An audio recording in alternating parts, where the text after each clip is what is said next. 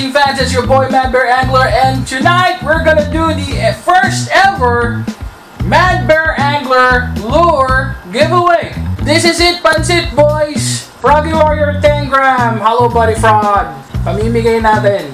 So, para walang dayaan, lahat ng entries, nilagay ko lahat sa Excel. So, ganito gagawin natin. Meron akong number randomizer sa phone. Pero number lumabas dito, yun yung hahanapin ko sa Excel.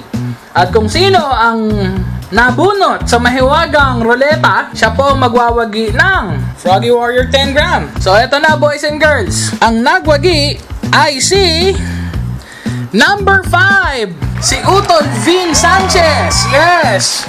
Utol Vin Sanchez, kung mapapanood mo tong video na to, ah, PM mo sa akin yung address mo.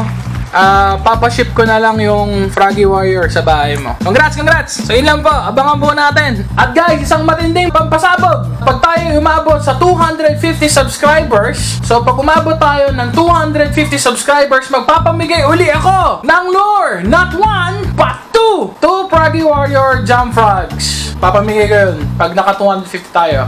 Alright? So, kay Utol, Vin Sanchez, congrats bro. Ah, PM mo again, PM mo sa akin yung address mo. Ship ko na lang sa bahay mo ha. Congrats! Tight lines, boys!